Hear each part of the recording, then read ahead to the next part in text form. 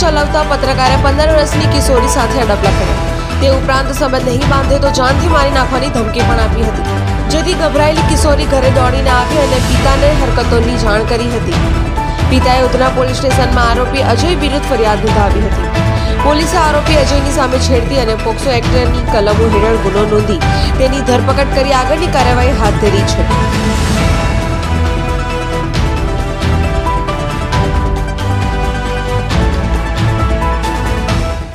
Udhna police station ખાતે એક ભાઈ આવીને ફરિયાદ નોંધાવી હતી.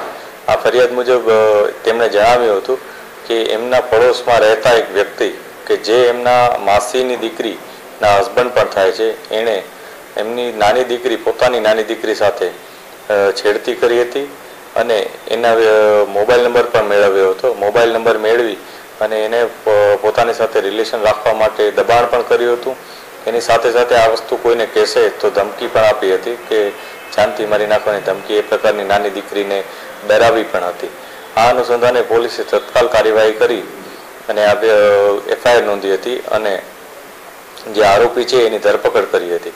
ધરપકડ બાદ પૂરતા એવિડન્સીસ મેળવવામાં આવ્યા છે અને જે પણ બીજી ડિટેલ છે અમે અત્યારે મેળવી રહ્યા છીએ. ત્યારબાદ નામદાર કોર્ટમાં રજૂ કરતા તેને જ્યુડિશિયલ કસ્ટડીમાં મોકલી દેવામાં આવ્યું છે. શું નામ છે અને શું આ બનાવમાં જે આરોપી છે, એનું નામ અજય અશોક સોનવાણે કરીને છે. એ સાપ્તાહિક પત્રકારત્વ સાપ્તાહિક જે સાપ્તાહિક હોય છે ન્યૂઝપેપર, એમાં એ પત્રકાર તરીકે છે અને પોતાની કોઈ યુટ્યુબ ચેનલ પણ ચલાવે છે.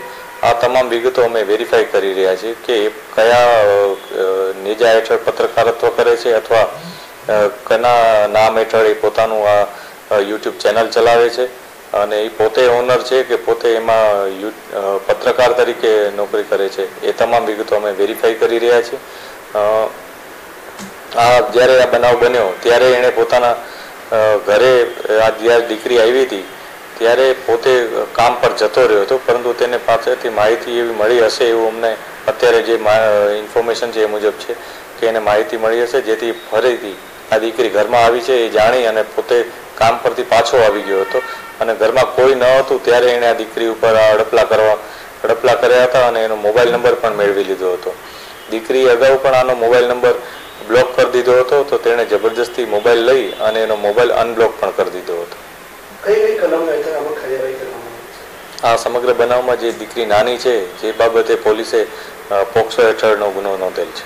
પ્રતિક ડોલી જનસાક્ષી ન્યૂઝ સુરત.